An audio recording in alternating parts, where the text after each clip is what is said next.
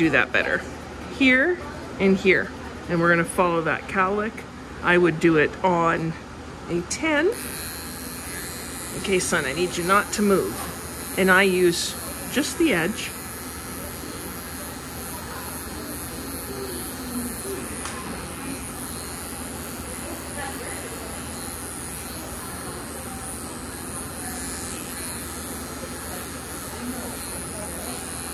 And we never go down the bridge of the nose.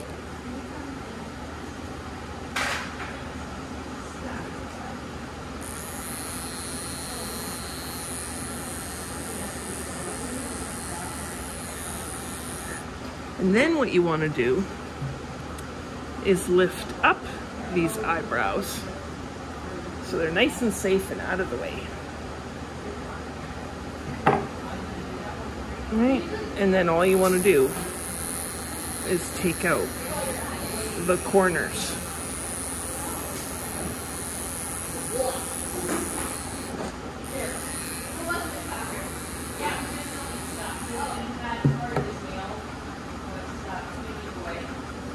Right?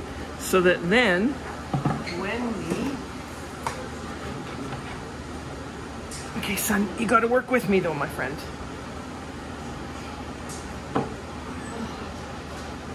Right? Can you, you can see through even though we've not done the rest of the groom, right? Okay, then, so as we're looking at this head, you're going to come between the eyebrows and then you're actually gonna feel the bony ridge. So there's the bone and we're gonna come around and this ends up for the most part looking like a triangle, okay? So with that 10 blade, we're gonna come up. Now we don't wanna go all the way to the ear. We're just coming around.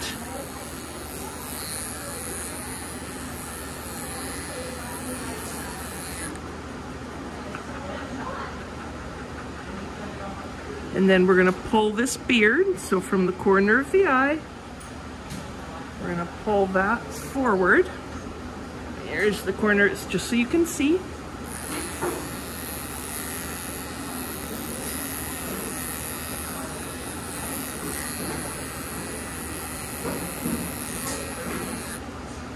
Okay, so do you see how we're leaving this coat in front of the ear? So on the back side of this Scottie's ear, we're gonna come through. So do you see how I'm leaving all of the coat in that area, this area of the ear. But when you look at a Scottie, you should have no draggles coming off the side.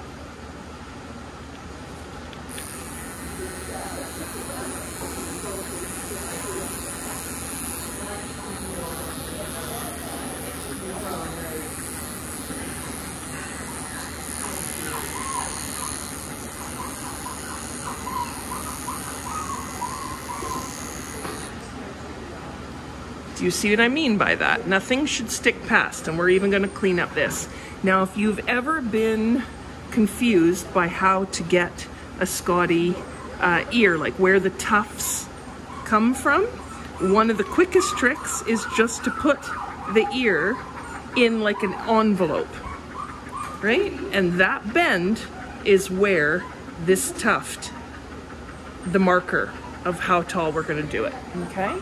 So always place the flesh flat against your own so that we don't have any issues. That's safety. I'm on a 30 for the inside of the ear. And you can start to see, oh, hang on. You can start to see how clean this whole outside of the ear is.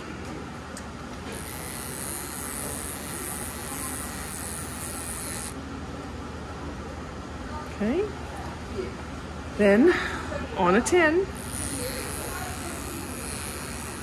and we're gonna go, um, if you're looking at it this way, we're coming straight off, okay?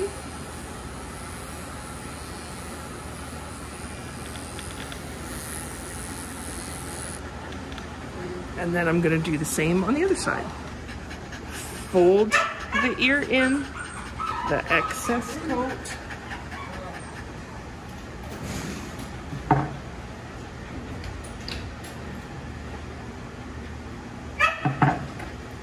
And then with blenders. Right? And then this starts to lead in.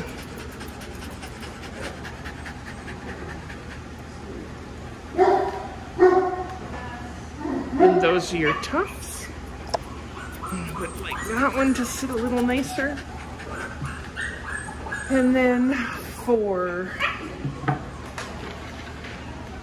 eyebrows. So again, we never scissor at an eye, we always scissor away from an eye.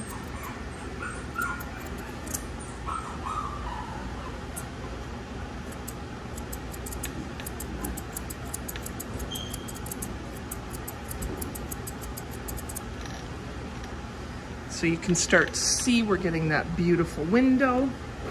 And then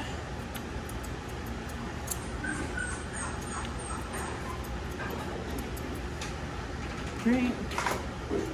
If you want to do more blending, you can use your either the tips of your shears or your blenders. It's whatever's easiest for you.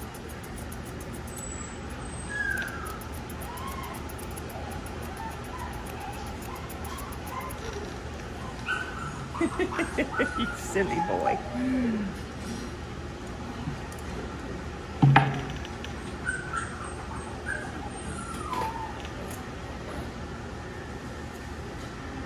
I'm holding the beard down with my thumb here so that I don't unintentionally get any of it.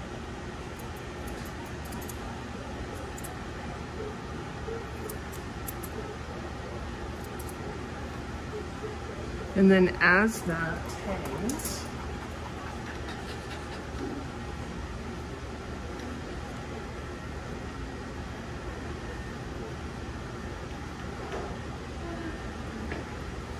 So do you see when we look now that you can see through, right, his eyebrows. Uh, then we have to do the other side.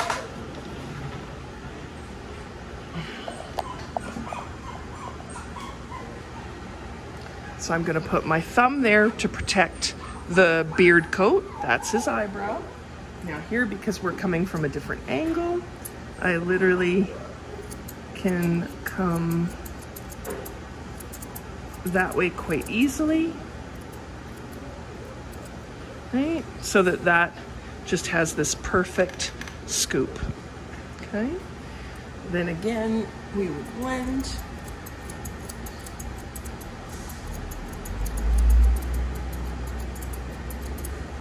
Right? And when our eyebrows sit correctly, you should be able to see straight through, which you can, right? And straight through right there. So when I put my hands on the other side, you can literally see the color going through at the bridge of the nose. And then again, to blend this out, you can use your blenders so that it looks like it just happened, right?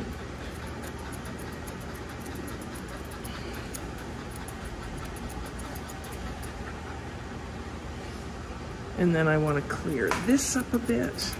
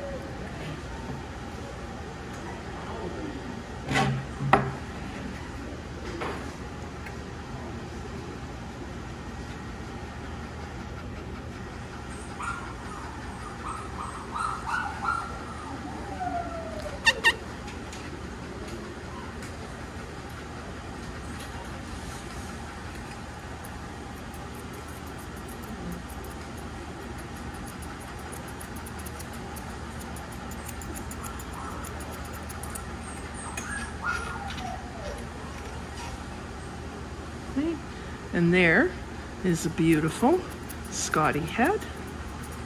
Right? And you just clean it up as you need to, but that is your profile. Uh, honestly, with a beard, I don't touch beards, but again, it's owner preference if you're going to do this. So if you were looking at it from this angle, you could brush that or comb that down like I just did and come at it at that angle, right? So about uh, 45 to this straight line that's here. And then blend it out so it looks a little bit more natural.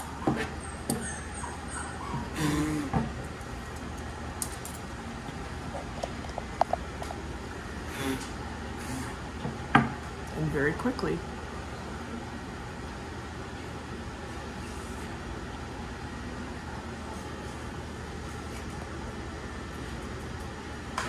you can see our Scottie.